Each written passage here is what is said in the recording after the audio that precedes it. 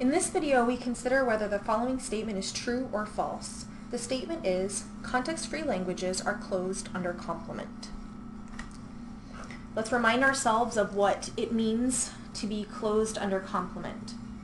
So, um, let's say if the context-free languages are closed under complement, it would mean that if L1 is an element of the set of context-free languages, then L1 complement is an element of the context-free languages, for sure, for any arbitrary L1 that's a context-free language. Okay, so that's what that statement would mean. So, in order to determine whether the context-free languages are closed under complement, we find that it is helpful to first show that the context-free languages are closed under union. So the claim is that context-free languages are closed under union. So we're going to give two very quick proofs that this is true, uh, mainly to prove that they are closed under union, but also to give you a little bit more practice of doing proofs of this sort. So I'm going to call this one proof 1. Okay, we're going to use grammars to prove this. So let's let L1, L2 be elements of the context-free languages. So L1 and L2 are context-free languages. And we're going to have two grammars. So let's say that the language of grammar 1 is L1 and the language of grammar 2 is L2. So G1 and G2 are context-free grammars. Okay, let's define G1 is going to be a set of variables, we'll call it V1, sigma, set of terminals, R1, the set of rules, and S1, the start variable for G1. And let's define G2 as V2 sigma R2 S2. Okay, and now we're going to construct G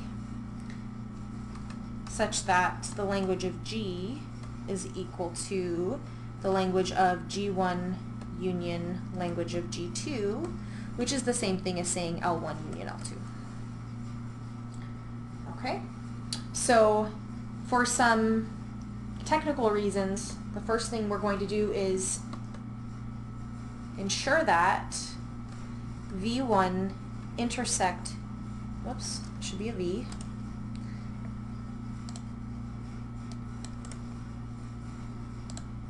V1 intersect V2 is the empty set. What we mean here is that V1 and V2 do not share any variables. Okay, we want to make sure that if we start a derivation that would have been from grammar 1, we're going to stay in that grammar. We're only going to use variables from that grammar. We don't want to allow uh, mix and matching, if you will, of variables from G1 and G2. Okay, so um, if not, we're going to do something very simple. Um, let's say for any variable that is in the intersection, we're going to replace all occurrences of V in V2 and R2. Okay, so what I mean is, let's let some variable W be um, in the set of variables V1 and the set of variables V2. Then I'm going to replace W with a new variable that doesn't uh, appear anywhere, let's call it X in V2, and I'm going to find all occurrences of it that show up in any of the rules in the set of rules R2, and I'm going to replace W with X. Okay, so this is just going to make sure that these two sets are disjoint. Okay, and so we're going to form V2 prime and R2 prime.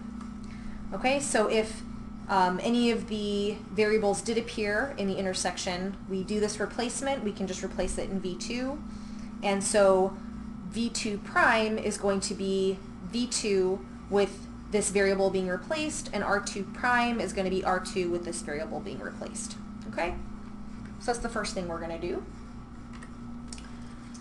Second thing we're going to do is create a new variable, s, which is going to be the start variable of g. Okay, so we're going to have a new start variable. We're going to add a rule s goes to s1 or s2. Okay, so this is what's going to allow us to either derive a string by using the grammar G1 or derive a string by using the grammar G2. Okay, so then we're going to define G. What is G? It has a set of variables. Its variables are all the variables from grammar 1 along with all of the grammar all of the variables from grammar 2 after replacement. So this was again ensuring that these two um, have an empty intersection. Also including this new variable s that we've just created. Okay, so that's the variables. I'm going to put on the next line what the, oh, I can put it here. So sigma, our terminals. Okay. And then so that I have room, I'm just going to put the rules on the next line. So the rules we're going to use is all of the rules from grammar 1, along with all of the rules from grammar 2 after this replacement has occurred, along with this new rule that we just made. S goes to S1 or S2. Okay, that's all my rules. And then S was the start variable for the grammar. Okay, so what this allows us to do is when we have some string that we want to find a derivation, we're going to start at s, and then we're going to either go to s1 or s2.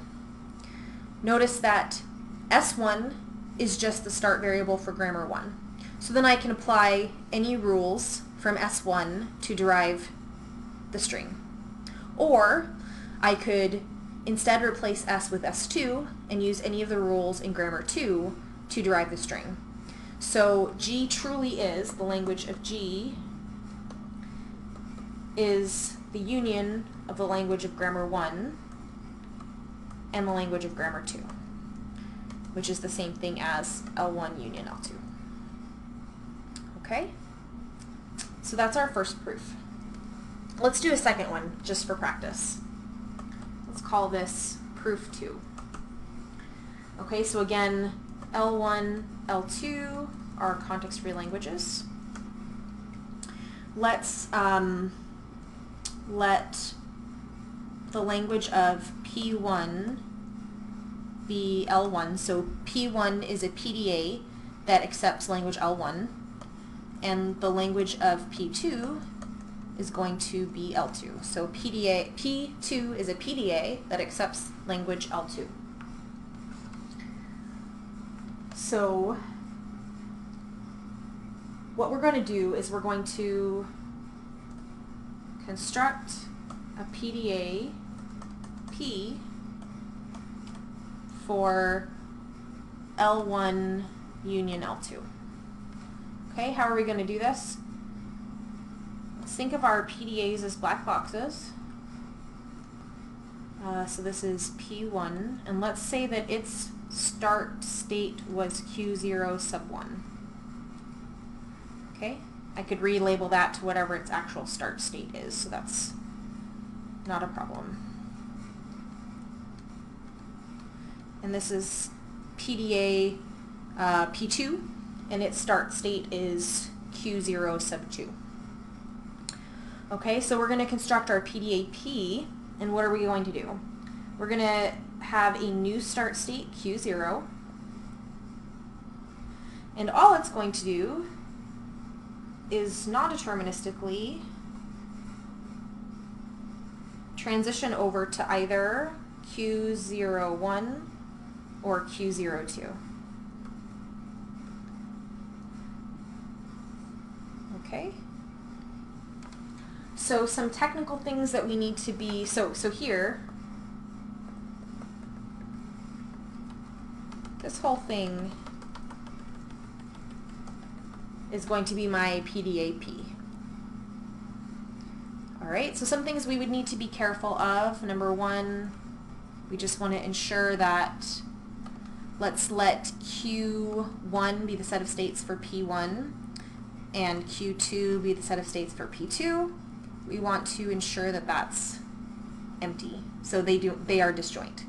Okay, this just uh, makes it so that we can't mix and match, match transitions. So if I started in Q0 and I pop over to Q0 sub 1, I can't somehow be in P1 and then trans, so I don't want to be able to go over here and do some stuff over in P2.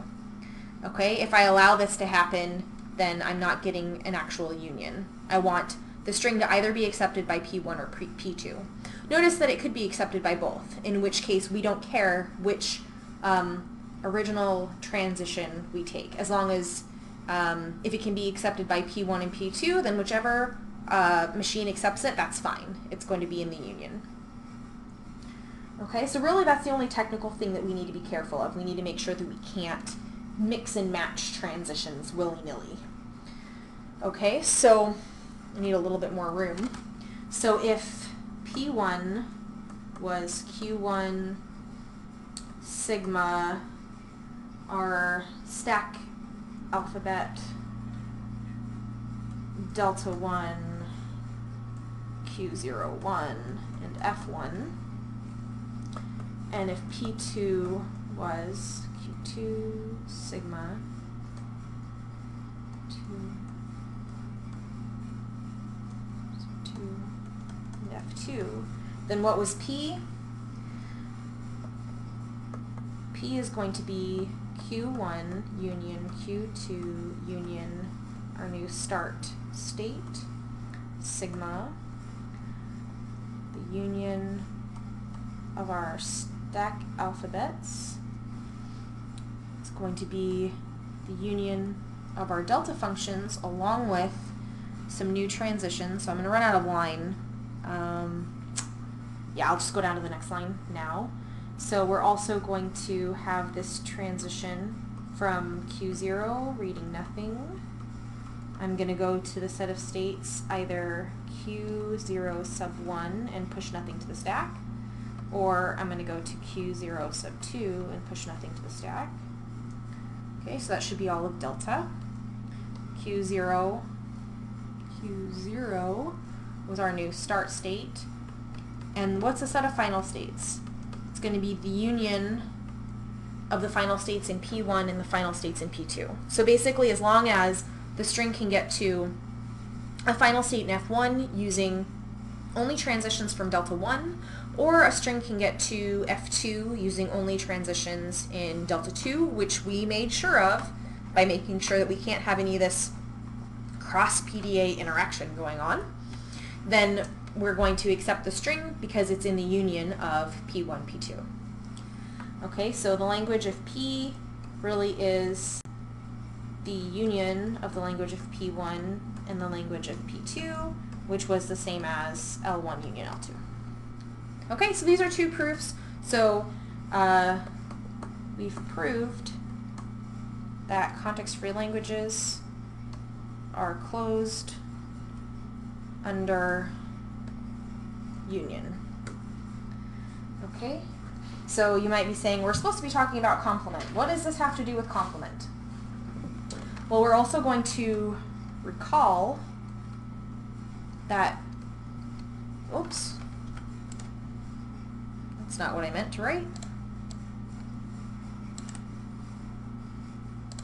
Recall that context-free languages are not closed under intersection. Okay, so you might be thinking, hmm, union, intersection, complement, what does this remind you of? De Morgan, right? So, we're going to use the fact that context-free languages are closed under union, but not intersection, to show that context-free languages are not closed under complement. Okay, we're going to do a proof by contradiction. So let's go ahead and assume or suppose that context-free languages are closed under complement. Okay, here and I'm just going to say for the purpose of obtaining a contradiction. Okay, so I'm not doing anything funny. Um, we're just going to assume that context-free languages are closed under complement so that we can get a contradiction. Okay, so then we have if L1 and L2 are context-free languages, it should be the case that L1 complement and L2 complement are context-free languages based on our above assumption. Okay? Then it should also be the case that L1 complement union L2 complement, that this language is a context-free language. Okay, we know we have closure under union. So if it's the case that L1 complement and L2 complement are context-free languages, then this absolutely has to be true. Okay, then we would also know that L1 complement union L2 complement complement should be a context-free language. Okay, I've just applied complement again. So if these context-free languages really are closed under complement, then I had assumed that L1 complement union L2 complement was a context-free language. Therefore, this whole thing complemented should still also be a context-free language. Okay, then we would have, let's apply De Morgan's, L1 complement complement intersect L2 complement complement. What is this equal to? Just L1 intersect L2 must be a context-free language. Okay, so, but we know that context-free languages are not closed under intersection. What does this mean? It means for arbitrary L1, L2, we cannot, oh,